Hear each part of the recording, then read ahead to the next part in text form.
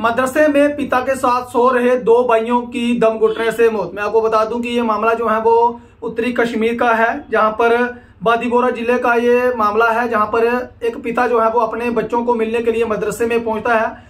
एक कमरे में जो है वो अपने बच्चों के साथ पिता सोता है, लेकिन देर सुबह तक जो नहीं उठता तो वहाँ पे लोग जो है वो वहाँ पे पहुँचते हैं। तो देखते हैं पिता और दो बच्चे जो है वो बेहोशी की हालत में हैं। उन दोनों को जो है वो प्राथमिक उपचार के लिए हॉस्पिटल में ले जाया जाता है।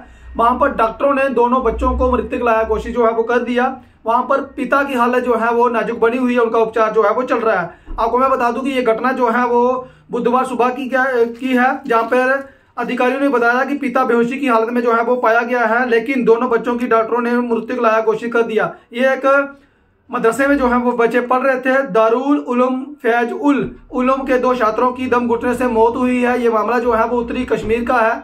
एक मदरसे में बच्चे जो है वो पढ़ रहे होते हैं, पिता भी उनको मिलने के लिए वहाँ पे पहुँचता है। एक कमरे में जो है वो रहते हैं, दो बच्चे और पिता जो है वो कमरे में सो जाते हैं। शायद रात को जो है वो आग का उपयोग करते हैं, आग जलाते हैं, क्योंकि ठंड जो है वो काफ़ी ज़्यादा पड़ रही है।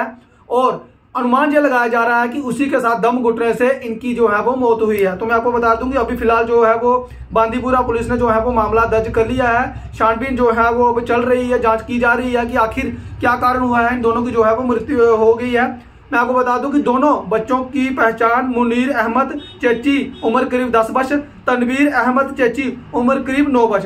ये दोनों जो है वो सगे भाई थे और पिता को, पिता जो है वो उनको मिलने के लिए वहाँ पे पहुँचता है और ठंड काफ़ी ज़्यादा है।